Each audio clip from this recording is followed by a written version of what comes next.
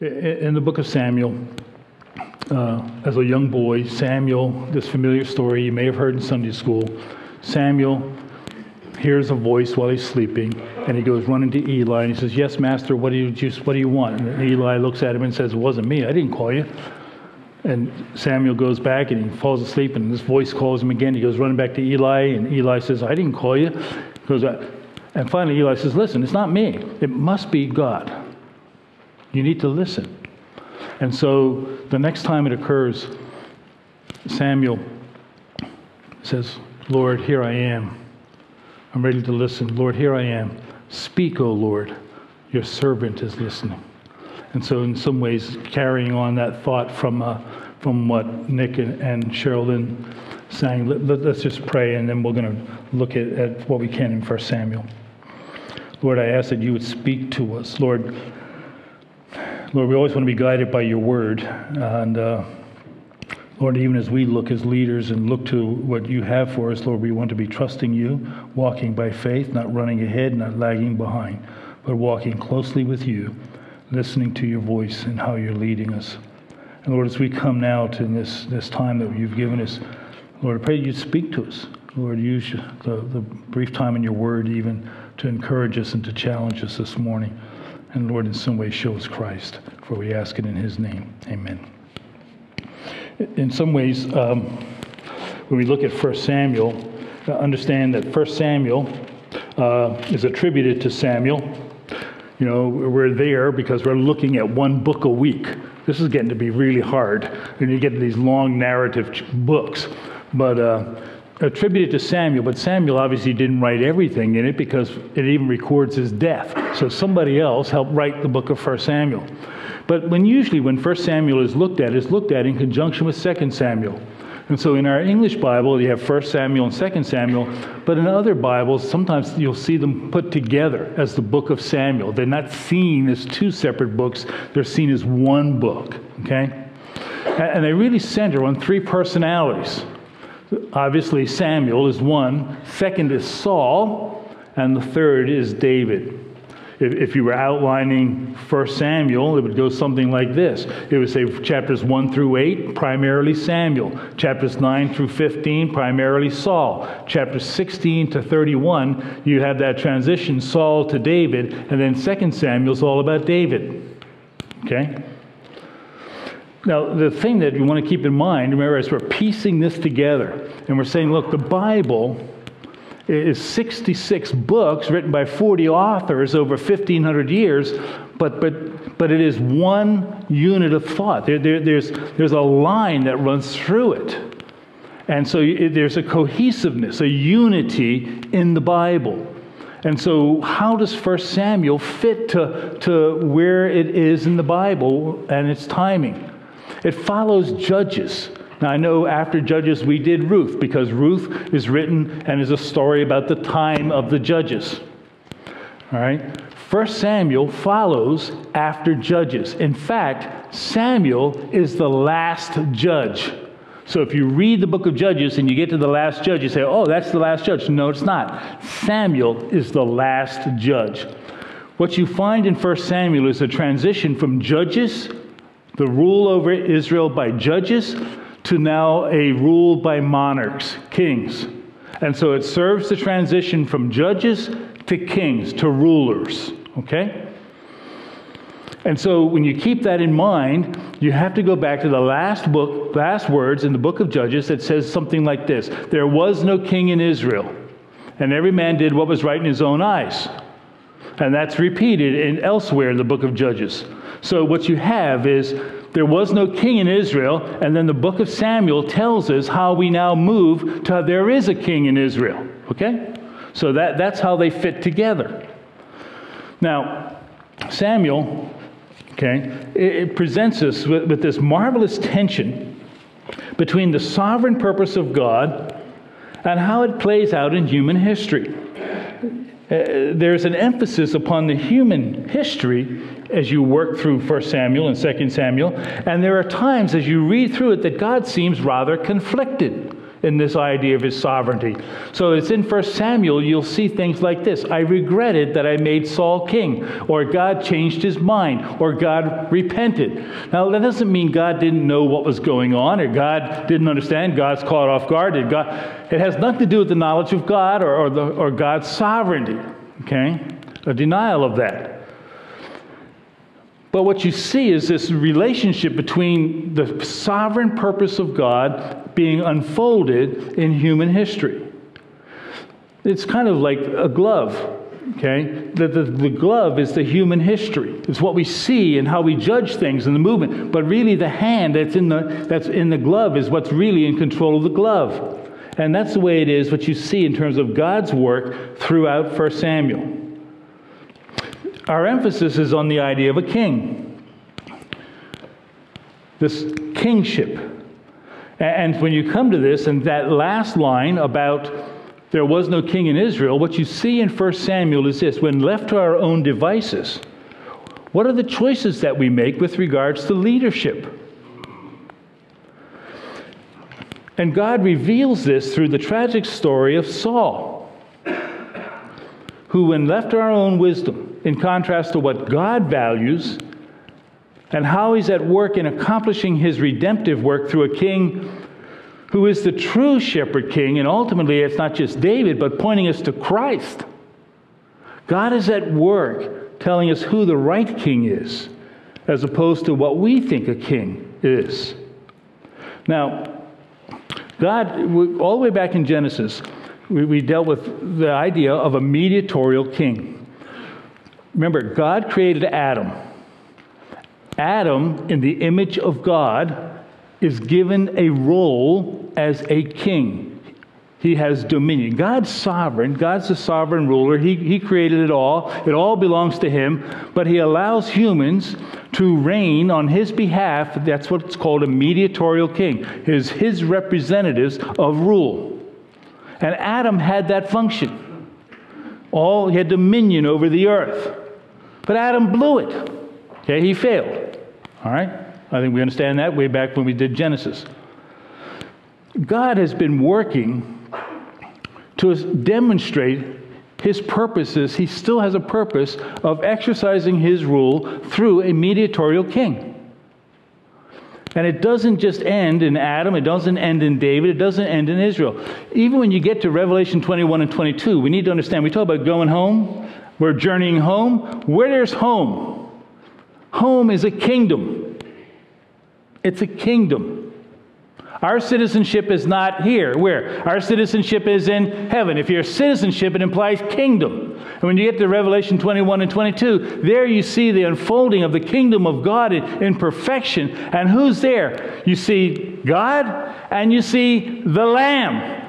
Who's the Lamb? Well, he's Christ. He's Christ, the righteous King, the shepherd. And so, all the way through, even when we get home, understand there's a sense of mediatorial rule exercised through Christ. And so, what we see now in human perspective eh, through Saul and David is what God is doing and demonstrating, in particular in the nation of Israel, his idea of mediatorial rule. Okay? And at the core of mediatorial rule is an overriding characteristic, an outstanding characteristic that God demands, and that's righteousness. When you work through the prophets, you work through this, righteousness is the issue. Now, let me put it in these terms character. Righteousness, at its core, righteousness is a reflection of our character. Character is the core of who we are, it's what matters. In God's eyes, it's not what we'll see on the outside, it's what's on the inside. It's our character that matters. And when, we lift, when we're left to our own devices, we look for wrong characteristics. We, we, we mistake what's important in life. You know, Dr. King really framed it right in his famous I Have a Dream speech when he said, I have a dream that my four little children will one day live in a nation when they will not be judged by the color of their skin, not by the externals, but by the content of their character. 50 years later, we still haven't got that right. The content of character. And biblically, that's what we're confronted with in 1 Samuel. Is character. The character of what God considers valuable, not only in the place, in the heart of a, of a mediatorial king, but certainly in our own hearts as those made in his image. So we're not going to have time to go all the way through what I had planned. We'll, we'll save that part of it for next week. But I am going to deal with, with at least Saul this morning because Saul at least it gives us the wrong perspective. Okay? Go to chapter 8 of the book of Samuel. 1 Samuel. 1 Samuel chapter 8. The first thing we need to understand is there was no king in Israel, and uh, every man did what was right in his own eyes. So the people said, We want a king. And, and God says, Hey, Samuel, they haven't rejected you, they've rejected me as their king. Well, he said, Well, wait a minute. Here's one of these ideas of the God being conflicted. Are they rejecting God as their king that they want a human king? What's wrong with that? certainly, look, if you go back in the Old Testament a little further, back in Genesis chapter 49, God made it clear that he intended to be a king over Israel. Because in the promise that Jacob, in the blessing of Jacob, as he's extending that to his children, he makes a prophetic statement. He says, The scepter shall not depart from Judah. That, that the kingly line was going to come through his son, Judah. So in, Ju- in, Genesis 49, you have this prophetic statement.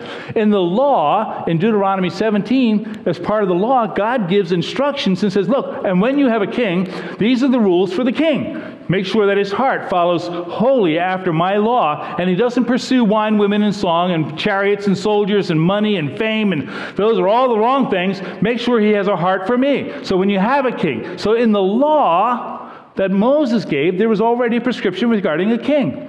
So when the people come and say, We want a king, it's not because God says, I had no plan for a king. He obviously had a plan for a king. What's the problem here? This is what you see in, in verse 4 of chapter 8. All the, Sam, all the elders gathered together. They come to Samuel. They said to him, Look, you've gotten old. You should have gone to the class. Your sons don't walk in your, class, in your ways. Appoint a king for us to judge us like all the nations. There's where the rub comes. God says down a little further, listen to the voice of the people in regard to all they say for you, for they've not rejected you, they've rejected me from being king over them. And then you get a little later, and, and Samuel gives them, says, hey, when you have a king, guess what? He's going to take and take and take and take and take from you. Hmm, tax, tax, tax, tax, tax. Sounds familiar. Some things don't change. Nevertheless, verse 19, the people refused to listen to the voice of Samuel, and they said, No, there shall be a king over us, that we also may be like the nations, that our king may judge us and go out before us and fight our battles. Now, we, we, we understand who God is, but we want a king like the nations, who will judge us like the nations, who will give us victory in our battles like the nations. That's where the rub came. They kept looking at the nations to say, we want leadership like that. We want to be judged and have judges like that. We want to have laws like them. We want a king to lead us and give us victory in battle. How, how quickly have they forgotten that back in Joshua, who gives the victory in battle? God does. God is the one who goes ahead. God is the one who gives victory. And they're already looking to earthly kings in order to, that's where the rub comes. Now listen, sometimes what you see here is God gave them what they wanted. It's one of these things of this, again, this tension, this marvelous tension, that in His sovereignty, God sometimes gives us over to our desires. You see that in Romans 1, 2. And he does that to magnify himself. And he does it to demonstrate his purpose. He does it to demonstrate his excellence. So be careful what you ask for. So they wanted a king, they got it. But notice how they were judging what was important to them, what you start to see reflected in Saul. chapter 9, verse 2. There was a man, he had a son, his name was Saul a choice and handsome man, and he was, he was not a more handsome person than among the sons of. Listen, you think David was good looking? Apparently, David wasn't as good looking as Saul. Okay? David was, may have been a ruddy, handsome man, but he had nothing on Saul. And Saul stood head and shoulders above everybody else. Let me tell you, Saul was a physical specimen. I mean, ladies, this would be the guy who's like, man, this is the hunk that everybody wants. Okay? Maybe he was the mold that God had when he made Adam. Okay? He was everything that a person could look at physically and see and say, yes, that's what I want. Okay? Now, what you're going to see a little later in chapter 16 is when God starts dealing, in his dealing with Saul and the transition from Saul to David, and Samuel goes looking for David, God says, I'm going to remind you of something. I'm going to remind you. Chapter 16, verse 6. When they entered, he looked at Eliab and thought, Surely the Lord's anointed is before him. Eliab's a pretty good guy. But the Lord says to Samuel, Don't look at his appearance at the height of his stature, because I rejected him. For God sees not as man sees, for man looks at the outward appearance, but the Lord looks at the heart. When you start judging character, what he's saying is we easily look at the wrong things that we think will make up character. And when you start to unfold Saul and start looking at Saul, you start to see what's not on the outside, but what's on the inside in Saul. Saul was all about external appearances not only his own, but how he's perceived by others. So back in, over in chapter 13, and when you see where his, this, Saul starts to have issues and disobey, chapter 13 and verse 11, Samuel confronts him and says, What have you done? And Saul said, Well, I saw all the people leaving me. The people were leaving me. Therefore, that's what I did. You see the same thing in chapter 15, where the people, he feared the people, and there he acted disobediently. And the irony of the end of chapter 15, after Samuel has confronted him and dealt with him, you know what he says to Samuel? Hey, Samuel, before you leave, honor me before the elders, honor me before the people. Saul is really concerned about external appearances, how people perceive him. He's more fearful of man than he is fearful of God. External things matter more when someone lacks character. In chapter 13, what you see also is an impatience.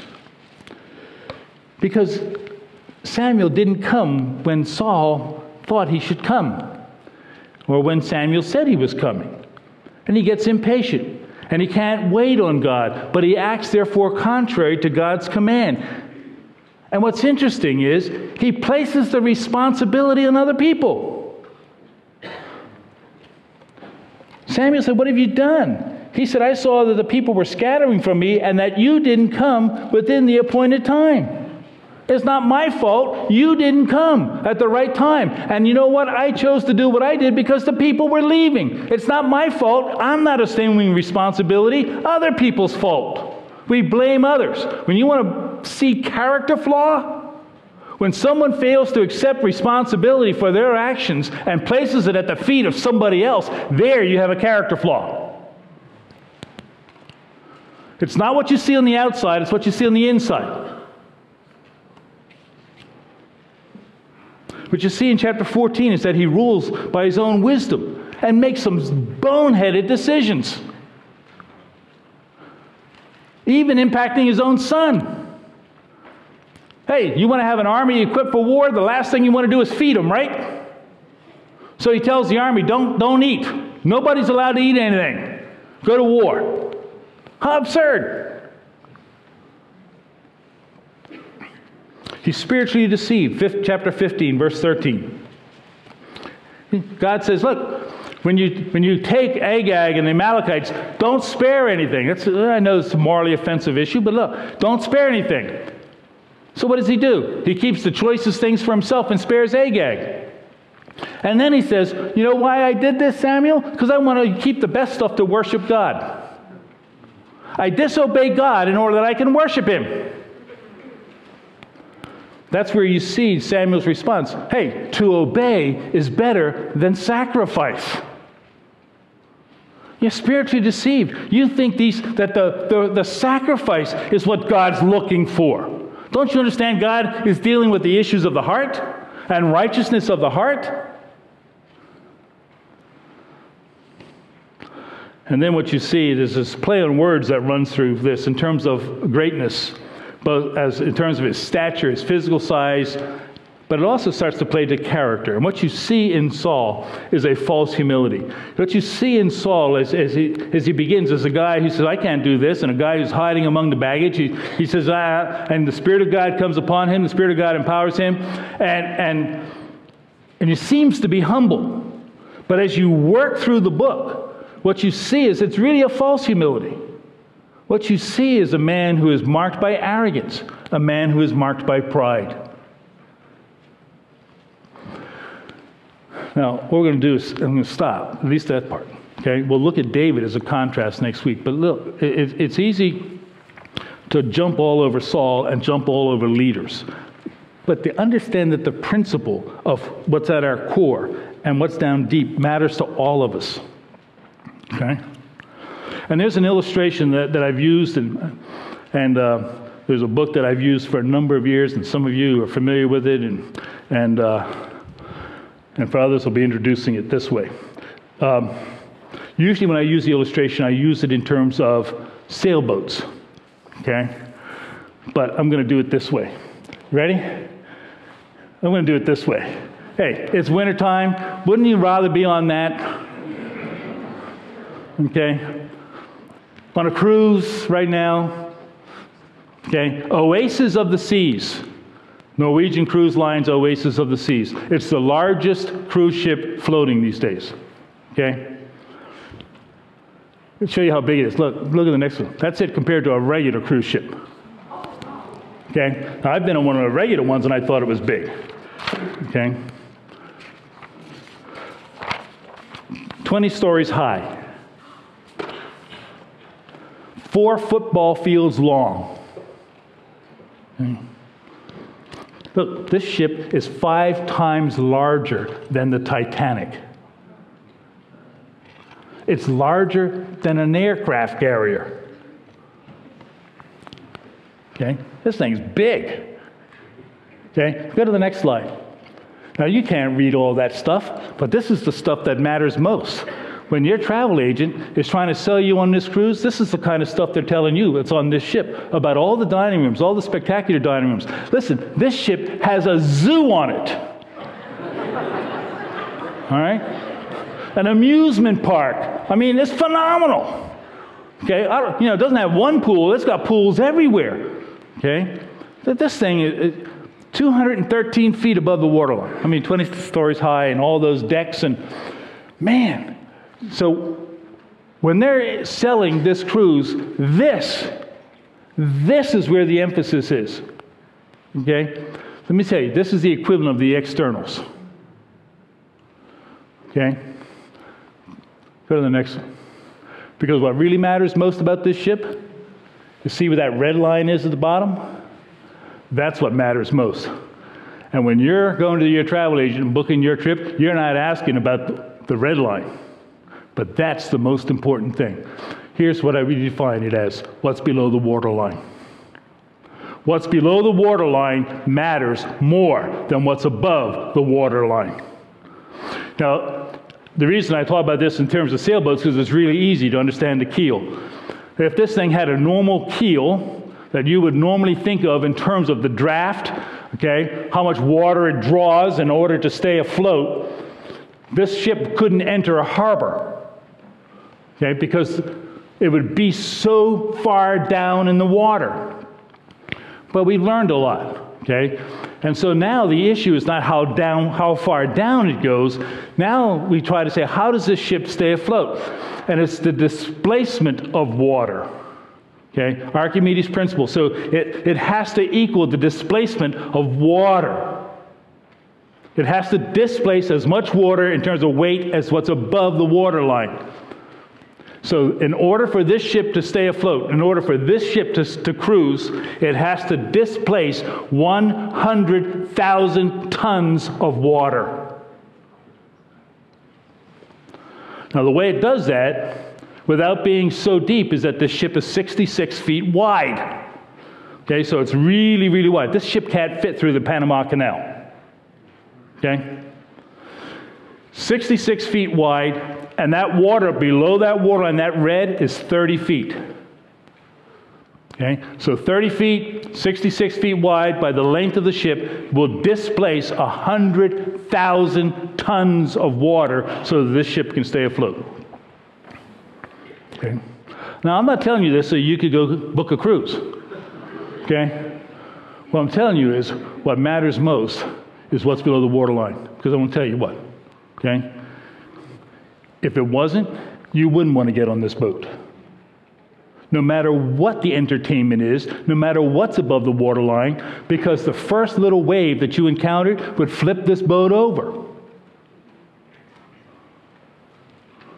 So it's not only just to sail through calm seas, but when it encounters some waves, how does it stay upright without capsizing, rolling over? How does it stay? because of what's below the waterline. What you don't see.